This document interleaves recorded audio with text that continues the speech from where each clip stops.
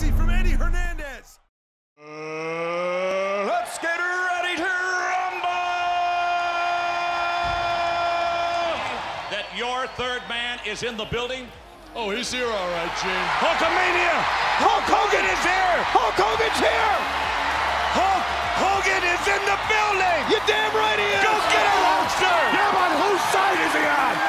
Hook, hook, hook!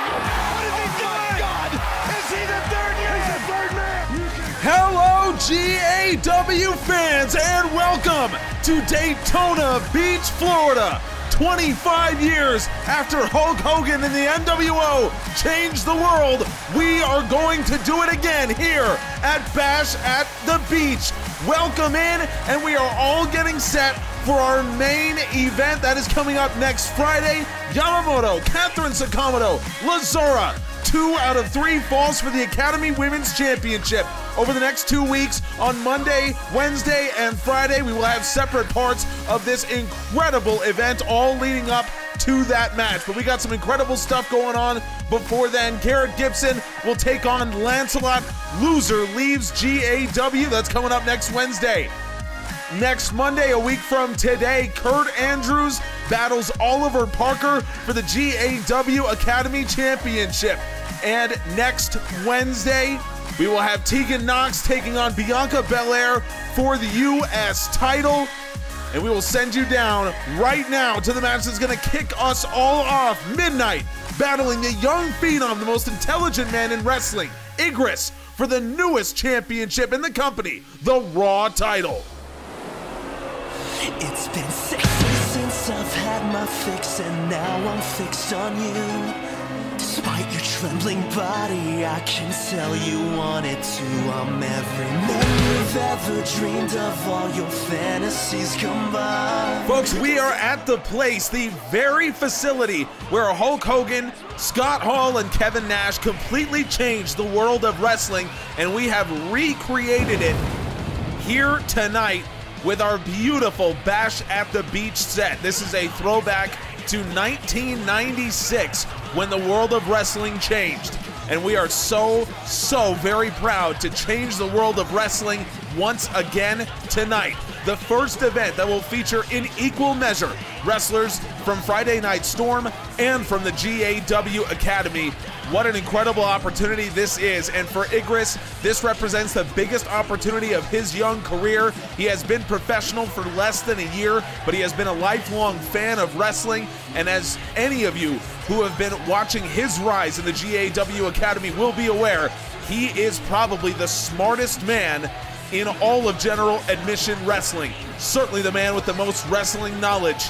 When you watch the way that he fights and when you know about the way that he approaches his matches, this is his biggest opportunity, and he'll get the opportunity against the man with the best record in general admission wrestling. Midnight, the current Raw champion, the man that no one has been able to beat, and the man who has looked absolutely impervious. Right now, Igris gets his shot, and he has earned it.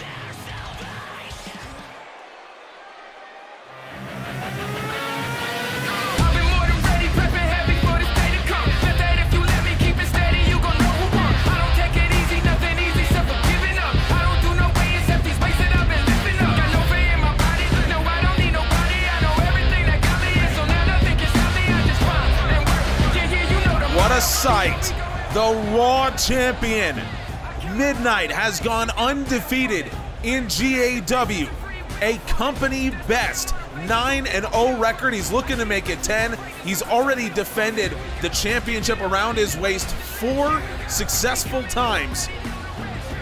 And uh, he is looking to add another name to his collection tonight. He's actually already beaten Igris once, but he was so impressed, he wanted Igris back in a qualifying match to become number one contender, and clearly the young man has learned a lot from their first battle together. Midnight has looked unstoppable. He comes in with the Sleepwalker and the Dream State, the two most dangerous moves in the GAW Academy right now. But Igris hoping to make sure that he is never even in a position where he needs to get out of either of them. The Raw Championship is on the line to begin Bash at the Beach. Folks, I can't contain my excitement. We got to get started right now. Well, this will no doubt be the toughest test of Igris's young career, dealing with a man like Midnight in a situation like this. But I'll tell you what, if there is anyone out there at this age who will be well prepared for a test like this, it is Igris, rolling Death Valley driver. And Igris, he is going to go for the first cover, Midnight. That's an easy kick out. I think Igris knew that wouldn't get the job done. But you got to let him know you're there, as they say. You never know how a, how a guy this age, with this little experience, will deal with a moment like this in a venue so historic, in an event so historic. How will he deal with it emotionally? That's a question that you never really know the answer to.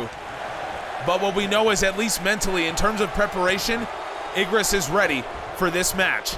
Dives in, looking for a basement drop kick, and Midnight saw it coming, and now Midnight off the ropes, and Midnight goes over the top. Backbreaker. Very similar to Dakota Kai's chiropractor. Canadian Destroyer on the way. Igris, back body drop. Igris had that one well scouted.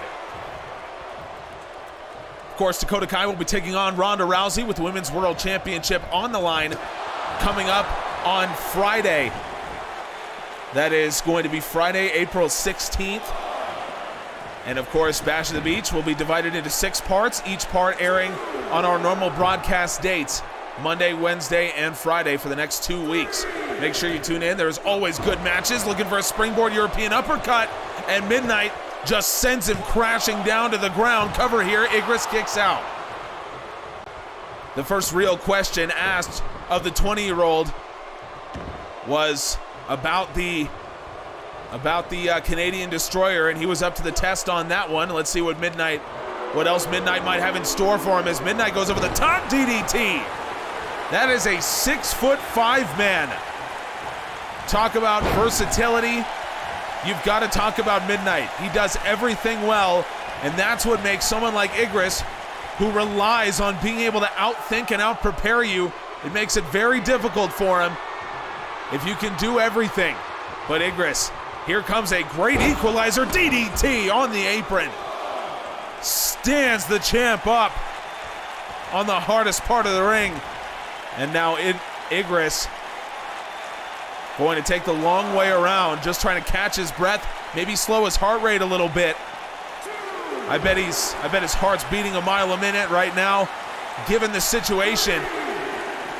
And Igris, he wants no part of Midnight on the outside. He wants this done in the ring where he feels he's got more control. Midnight saw him from behind, and now Midnight snap suplex. Champion's advantage, of course, so this has to end with pinfall or submission in the ring. Midnight going for a quick roll up here. Midnight trying to steal it right now from the rookie, and Igris kicks out. Igris eliminated all three men in a four way dance to earn number one contendership here. Scott Danielson, Ulysses Sky, and Stefford Drummond all fell to the young 20 year old. He is on an absolute tear right now. And now comes down Facebreaker. Igris got to be feeling good about himself, and now he's about to ask Midnight a question. He is about to ask Midnight a big question as Igris runs in looking for the Iron Throne, and Midnight catches him. Mid attempt, strike, ducked by Igris, and there goes Midnight. Nice clothesline over the top. This might be the most cerebral match that you will see in the entirety of Bash at the Beach this year. Oh, Igris, what a shot. And now Igris from behind takes Midnight down. He's got the rear naked choke and he's got the arm trapped as well. He's got the chicken wing locked in, and you see those legs. He's crisscrossed them around Midnight's waist, so he's driving it in. But Midnight, look at how strong the core is from the champion. He was able to just perch himself up. Igris, he's got to be feeling like he's tried mostly everything. He hasn't yet done the Reaper's Embrace, but he may not get the chance to his feet. Midnight gets the boot in. This is exactly what Igris needed to prevent, and he can't. Sleepwalker. He had done so well up until this point, but Midnight hooks the leg and Midnight retains. Igris had done absolutely everything he could, and he had avoided everything, including the sleepwalker. But at the end of the day, Midnight, the champion, was just too much for the young man. Igris did everything in his power to win this match. He dealt with everything Midnight could throw at him. And that is not something that many men have been able to say. And that rear naked choke almost ended the night for the Raw champion. But Midnight, now on the biggest stage that he has fought in in his time at GAW, has retained the title that means so much to him. The title that symbolizes the revolution currently happening in the GAW Academy. Underground wrestlers have taken over, and they are now the biggest stars that we have to offer. Midnight is leading the charge with the Resurrection Alliance Wrestling Championship, one of the most prestigious underground championships in the history of wrestling. We got two more great matches coming up for you on part one of Bash at the Beach. We've got War taking on Lighter and Dagonite for the reactivated tag team championships. You want to talk about underground legends? War are 13 time world tag team champions. They have an opportunity to add to that total against the legend of tag team wrestling, Lighter. But coming up next, Bobby Lashley takes on Ricochet for the Intercontinental Championship. Lashley, one of the most decorated IC champions of all time, and he looks to maintain that success against Ricochet.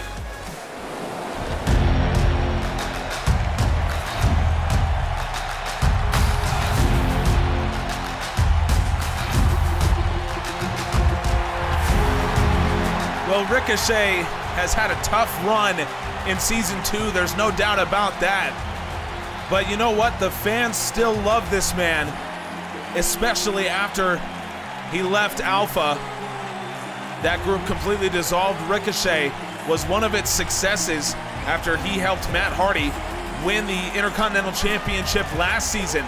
But that is no more. Ricochet trying to make it on his own, and it's been tough. But he did find his way here to this Intercontinental Championship match, and Conor McGregor has been so disrespectful of him over the last few weeks, basically saying he just wanted an easy payday for Bobby Lashley in Lashley's quest to become the most decorated Intercontinental Champion of all time. So Ricochet, he can prove all the haters and doubters wrong right now with a win over the most terrifying man on Friday Night Storm.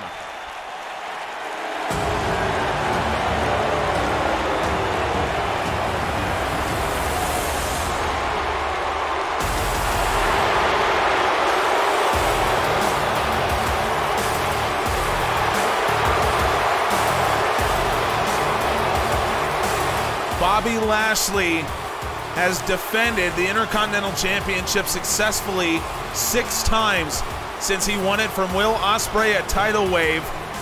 The record he is chasing is Walter's record. Walter defended this championship successfully 16 times over a 606 day reign. Bobby Lashley is chasing that record. He already has the most successful defenses since Drew McIntyre in 2019. This has been a prolific run, to say the least, from Bobby Lashley. No Conor McGregor in his corner tonight as McGregor prepares for his match at Bash at the Beach. So it'll be just Lashley. This is Ricochet's chance to shut down all the hate, and this is Lashley's chance to continue his dominance. Bobby Lashley has been basically unbeatable in his season two here in GAW. Ricochet has not been able to achieve that same level of performance, but it's not like he hasn't in the past. Ricochet is a former cruiserweight champion, and I want to take you back to Nitro 4 in 2015. Ricochet, still going by the name Prince Puma, battled Will Ospreay for the Cruiserweight Championship. Prince Puma came out on top on that night, and for the next 571 days, Ricochet sustained but one loss, one singles loss over 18 months, 14 successful title defenses. It is one of the greatest reigns of any champion in general admission wrestling. So Ricochet knows what he's doing. It's just a matter of getting himself to that level, and this might help. Oh, super kick right on the button. Bobby Lashley might be out from that super kick. Here comes the cover, and Lashley powers out. If you found that historical fact interesting, by the way, you can head on over to generaladmissionwrestling.com. You can see full histories of all of our titles dating back to 2005. That is over on generaladmissionwrestling.com. You can also find full recaps of every show as they happen. You never have to miss a minute. Bobby Lashley firing away with rights. The ground and pound from the former Bellator competitor, Bobby Lashley. And now hoist Ricochet up. This isn't something that you'd find in Bellator. Bobby Lashley. There is no one who does this better than the Almighty. Stalling vertical suplex. And Ricochet just trying to fight his way off the ground, fighting off your back. It's so important to be able to do, Lashley. Overhead belly to belly. And he shuts down that attempt from the one and only. And here comes Bobby Lashley out of the corner. Spear, Ricochet hurdled him. That was so well done. Expertly scouted from Ricochet into the corner. Goes Lashley. Lashley trying to fight him off, and he does. Ricochet reverses. Lashley into the corner. Lashley pulls Ricochet into harm's way. Ricochet in the corner now, and Lashley sends him off that turnbuckle face first. Rebound German suplex. The strength of Lashley to send Ricochet face first into a metal turnbuckle with a cloth pad and have him bounce off like that. Lashley rolls him over, grinding down on that jaw. Ricochet kicks out. Lashley has put him through hell in this match, but Ricochet is still in it. Just trying to do what he can, and now Ricochet going up top. Bobby Lashley's in the drop zone as Ricochet 630.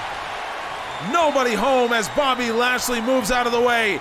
Into the corner goes Lashley. Ricochet tries to follow him, and Lashley drop toe hold. Sends Ricochet into the middle rope, and Lashley just gonna grind the air out of the lungs of the challenger. This is as dominant a performance as you will see from anyone in general admission wrestling today. But Ricochet's still in it, and that's all that matters. Until that hand comes down for a third count, you're still in it. You've still got a chance, and Ricochet knows that. Bobby Lashley, though, he's trying to take all hope away from the challenger. Gut wrench bomb.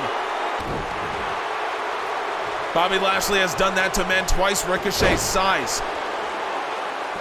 So what can Ricochet do now? Well, there's one.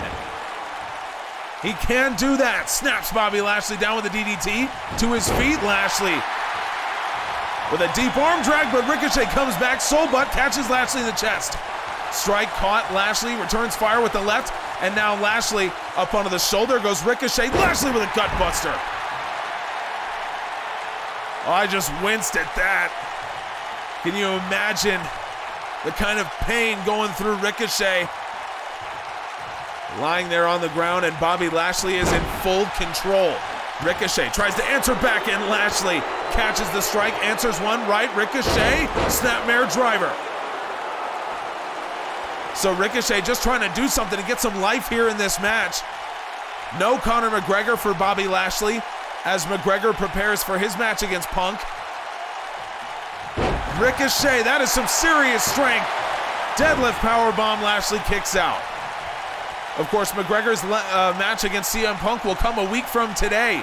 The Irish Street Fight next Monday. And now Ricochet up onto the shoulders, roundhouse kick.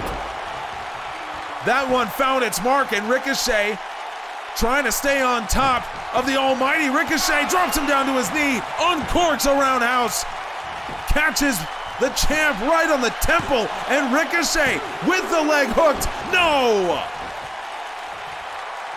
Bobby Lashley kicks out. Lashley is right in the middle of the ring. So what can Ricochet do? Does he have the energy to reach him with a 630? It looks like he's thought better of it. He doesn't believe he does. Lashley to his feet. Ricochet trying to take him down for that roundhouse, and Lashley caught it. Lashley into the top wrist lock, grounds Ricochet onto the knee, but Ricochet fighting his way out. The challenger, he's still got something in the tank, and now Ricochet into the hammerlock. Lashley fights out of that one, and Lashley with a spine buster. Boy, Bobby Lashley will shut you down real quick, won't he? Ricochet staggers to his feet, turns around. Lashley spear! Good night, Ricochet. You might want to go see a doctor. Bobby Lashley retains the Intercontinental Championship. Wow. I'll tell you what, Ricochet put up a fight. No disrespect.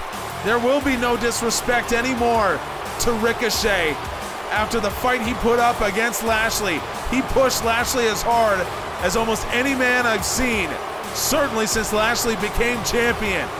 But at the end of the day, the almighty Bobby Lashley was too much to handle for Ricochet, and even without Conor McGregor, Bobby Lashley gets the job done on the biggest stage. You gotta be worried about this as you're watching. Lashley doesn't need McGregor. Bobby Lashley, the most terrifying man in the company, is still Intercontinental Champion. Coming up next, our last match of part one War takes on Lighter and Dagonite for the reactivated Academy Tag Team Champion Championships, and we have Tag Team Legend Lighter with his 20-year-old partner standing by backstage. I've fooled myself for a long, long time, believing I could excel in the singles ranks. The truth is, I'm a tag team wrestler. It runs in my blood. And this man is a tag team wrestler.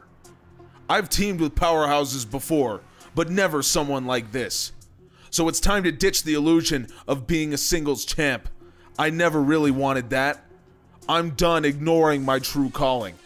It's time to reform the most powerful group in the history of the GAW Academy.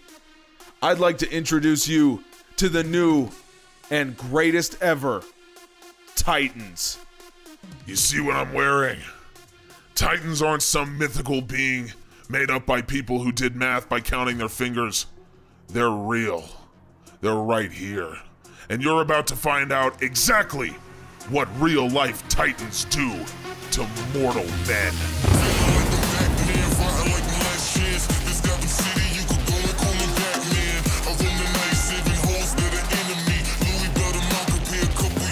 Wow. Lighter officially reforming the greatest team in the history of the GAW Academy, the Titans. Formerly, it was Lighter and his partner Will Hobbs that formed that team, the first Academy Tag Team Champions, and still the most decorated. And Lighter looking to change all that with a man that he says will make the Titans better than they ever were.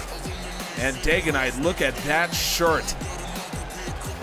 I am uh, not caught up on my Greek and Roman mythology, so I can't name the Titan that is on Dagonite's shirt right now. But I'll tell you what, I'm not even sure that is a Titan. It might be a self portrait. Lighter has found the right man to team with in a situation like this. This is war.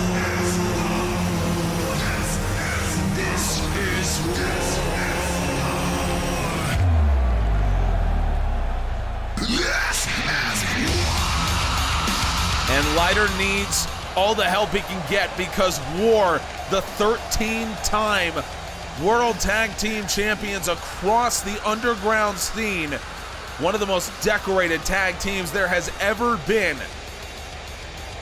on the underground wrestling scene, are the ones showing up to battle the newly formed Titans for the reactivated tag team championships.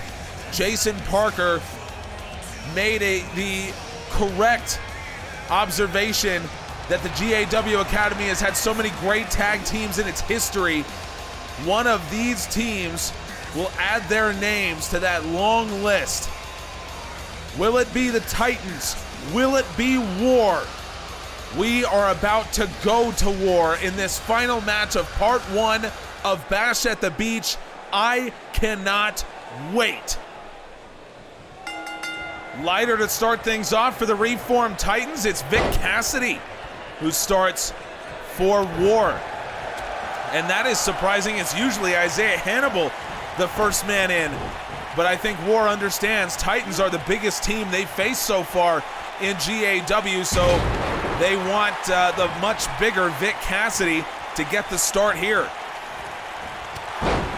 It's a good strategy, in my opinion, but also you got to remember, Dagonite earned the reputation, earned the nickname in Reaper Camp of being the giant, giant killer. His game is designed to beat bigger men like Vic Cassidy.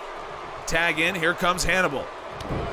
War also know that frequent tags are essential in a match like this, especially working against a man with the experience and the pedigree of Lighter. And Lighter catches that knee. Beautiful Alabama slam.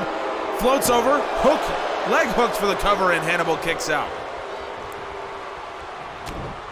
There is no accounting for experience, and Lighter has it. Lighter! Beautiful combination ending with a discus lariat. Lighter now dragging Isaiah Hannibal back into his corner, and here comes Dagonite. The seven footer, Lighter, gives him the opportunity to come into a match where he's got the advantage, and that is, again, just one of the little things that Lighter does. It's what makes him such a great tag team wrestler. Working with a 20 year old with very little tag team experience, and Lighter knows he's got to get Dagonite in when he's got the advantage. Get Dagonite acclimated to this match, and that's exactly what he's done. Isaiah Hannibal to his feet and levels the seven footer with a clothesline. Dagonite comes back. Look at the height on that back body drop.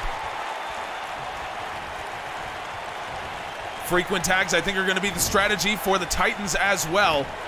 And Dagonite trying to get one, but Isaiah Hannibal fights his way out of it. Double team offense could be a real factor in this match. Of course, War, they've been teaming together for a decade. They've had hundreds of matches together as a team. Lighter and Dagonite, they've had only two. They've been training together for four months. So is the chemistry going to be better from War in this match? Who really? Oh my God! Vic Cassidy tried to come in with a thrust kick and Dagonite. That's why they call him the Giant Giant Killer. This guy, he has planned his entire game around dealing with men like Vic Cassidy. And now Dagonite hoists him up. Dagonite with a last ride style power bomb. Talk about dealing with a man the size of Vic Cassidy. And now into the corner he goes. Caught the referee with his shoulder. We're going to get a tag. Isaiah Hannibal nowhere to be found. Dagonite lifts him up. Lighter from the top. Doomsday device from the Titans. Referee to his feet. The Titans, surely they've just won. No, there is Isaiah Hannibal. And now Hannibal, oh wow, taken down from behind by Lighter. Oh my God, what a sequence. I thought it was all over for War and a half and a half suplex from Vic Cassidy. I thought it was all over.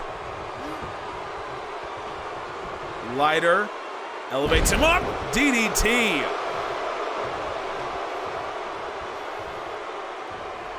Wow, what a what a coming out performance for the reformed Titans.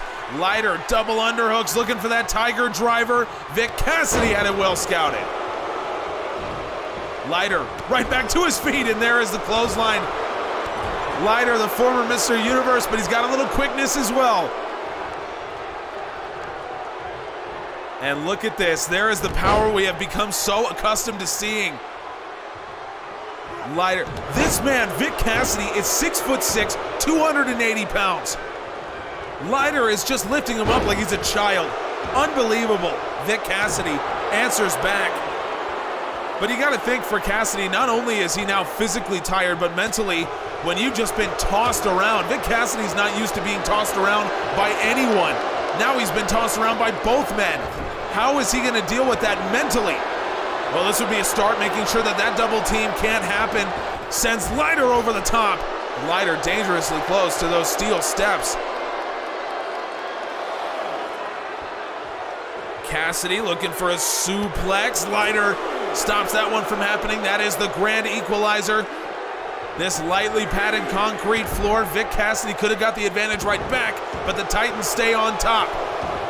Cassidy's got a long way to go, and Lighter slides into the ring and prevents a tag. Beautifully done from the tag team veteran. And now another tag in. Here comes Dagonite and Vic Cassidy. He's in real trouble. Doomsday device. The first one couldn't quite get the job done. Isaiah Hannibal was there. Will he be there this time? Lighter intercepts him. The Titans are champions. The Titans are champions. Lighter and Dagonite, a new team that formed not six months ago. Two matches in GAW. They are your new tag team champions, the first in the modern era. These men will be immortalized and lighter. He was the first tag team champion in the GAW Academy, and now he is the first in our new era. Dagonite cannot believe it. He has dropped to his knees. Lighter, this was his destiny in GAW to become the greatest tag team wrestler this company has ever seen. And certainly he has done that. The 20 year old Dagonite becomes the youngest champion in general admission wrestling, and Lighter helped him do it. Look at this team. Congratulations to the Titans, your new Academy Tag Team Champions. Join us on Wednesday for more Bash at the Beach, one of the most emotionally charged matches when La, when La Tortuga Roja goes up against Jackal in a steel cage. Folks, I hope you enjoyed today's action. We've got so much more coming to you over the next two weeks. Thank you so much. We appreciate you.